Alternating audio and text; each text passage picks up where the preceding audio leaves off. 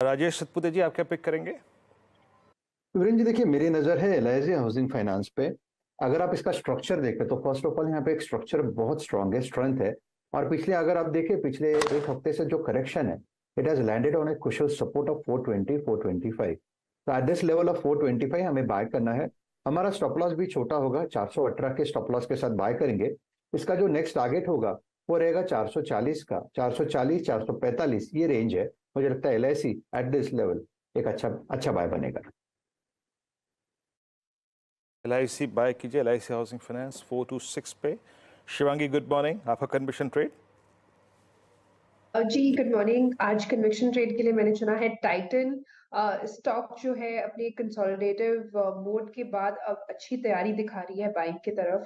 तो यहाँ पे काफ़ी एक अच्छा यू नो सेटअप बनते हुए दिखा है क्योंकि बेस बनते हुए फिर अब ये स्टॉक जो है बढ़ रहा है. तो एक अच्छा सस्टेनेबल मूव यहाँ एक्सपेक्टेड है. तो यहाँ पे खरीदारी की सलाह रहेगी.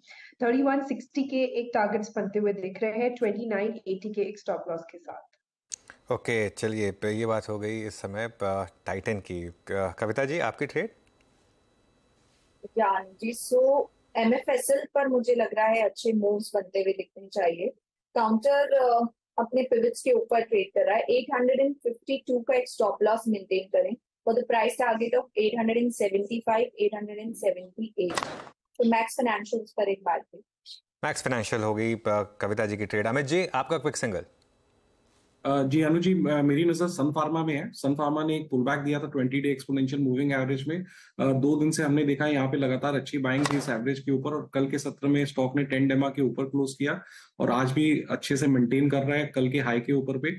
इलेवन फोर्टी सेवन का प्राइस है, इसे बाय करें for a target of eleven seventy and stop loss of eleven thirty four okay बता दें कि मनी कंट्रोल पर दिए गए विचार एक्सपर्ट्स के अपने निजी विचार होते हैं। वेबसाइट या मैनेजमेंट इसके लिए उत्तरदायी नहीं है। यूज़र्स को मनी कंट्रोल की सलाह है कि कोई भी निवेश निर्णय लेने से पहले सर्टिफाइड एक्सपर्ट की सलाह लें।